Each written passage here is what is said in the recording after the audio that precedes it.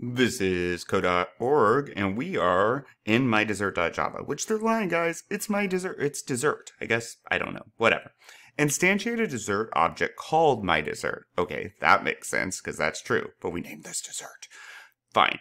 Uh, instantiate the object. Oh, look, they even say level four. Oh, right here. They want us to do it here. Oh, they didn't. So this is going to error because there's no my dessert yet. Yeah. All right. So we got to instantiate it. We're pros at this, right? We have a dessert class right there. My dessert equals new dessert. And bam, bam. Do we pass values? We could use the default constructor, but since they are printing other information here, interesting.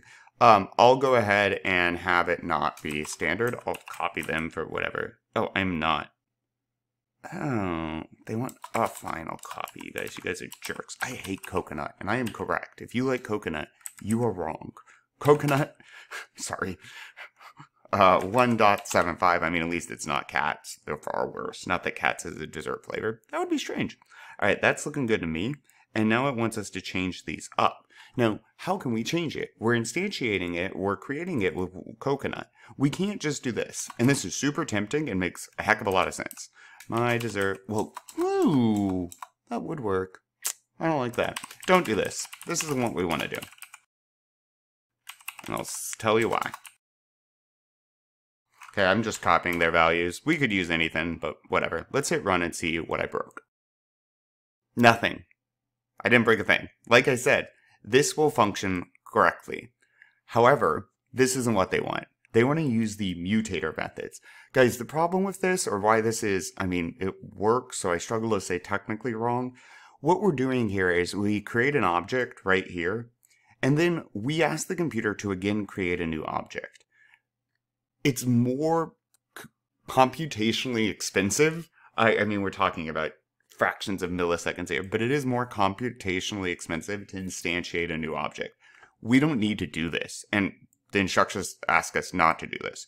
We, since we already have my dessert, let's not make a new one. That's why work harder than you have to. Instead, what we can do is do my dessert and use our mutator methods dot set uh, flavor. Ooh, if I can spell it. And then I can do strawberry. Okay. And now I can do my dessert, set price, and 6.5. Cool. Let me eliminate that guy. This is how you want to do it. This way we're not creating a new object, we're not instantiating a new object, we're just changing it up with our mutator methods, right? Here, that we added. Let's see.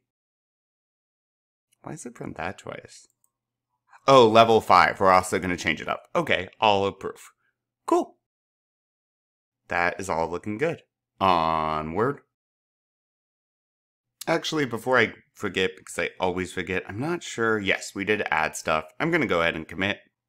Good to do this frequently. Added mutator.